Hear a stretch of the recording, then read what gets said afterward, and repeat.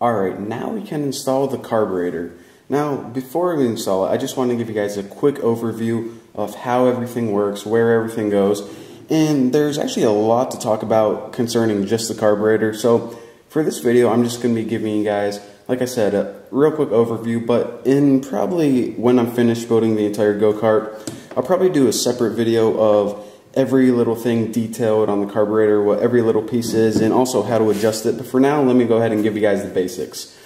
So you know how you have always heard that your engine runs on gasoline? Well, that's only partially true. Your engine actually runs on a perfect mixture of gasoline and air. Now, in order to get that ratio exactly how your engine wants it, you use something called the carburetor. That is the job of the carburetor to create that perfect ratio of gas to air mixture. Now let me go ahead and show you guys where everything is going to be hooked up and hopefully once I do that you guys will understand a little bit more on how the carburetor actually works. So of course before this thing can mix it perfectly it needs both of those things. So your air intake is going to come and it's going to go into a tube that's connected right here. That's where that big air hose is going to go. So Whenever we hook up our uh, air unit, remember it goes right here. Now for the fuel line, this is going to be the fuel line and the gas tank is actually going to be hooked up right here. It's going to go through this fuel filter which cleans any crud out of the gas and it's going to go into your carburetor as well. So now your carburetor has that perfect balance of air and fuel and it can mix it and I'm not going to show you guys how it mixes it perfectly, but just remember that this is what it does. It mixes the perfect ratio of air to gas using some of those pieces in there. You see that? I don't even know if you guys can see. And that's one of the uh, mechanisms. This one actually um, controls the airflow, as you can see. But anyways, like I said, I'll talk about that later on.